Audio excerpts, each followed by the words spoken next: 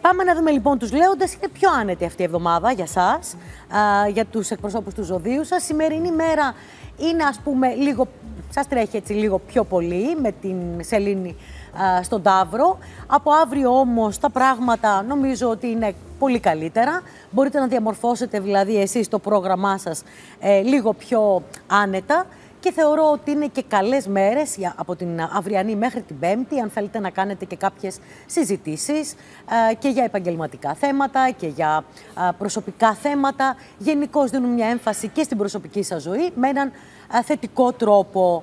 Από την Πέμπτη και μετά που θα περάσει η σελήνη στον καρκίνο και έχουμε αυτές τις λίγο περίεργες όψεις ηλιου-κρόνου, χρειάζεται να προσέξετε λίγο παραπάνω. Είναι πιο απαιτητικές μέρες, κυρίως η Παρασκευή είναι πιο απαιτητική μέρα πιο κουραστική. Προσέξτε λίγο περισσότερο και θέματα που αφορούν διατροφή, υγεία, γενικά να είστε σε μια καλή κατάσταση για να μπορείτε να βγάζετε εις πέρα στο πρόγραμμά σας, όποιο και αν είναι αυτό που έχει ο καθένας από εσάς. Σε γενικές γραμμές όμως δεν μπορώ να πω ότι αυτή εδώ πέρα η εβδομάδα είναι από τις δύσκολες. Έχετε περάσει πολύ πιο δύσκολες το προηγούμενο διάστημα.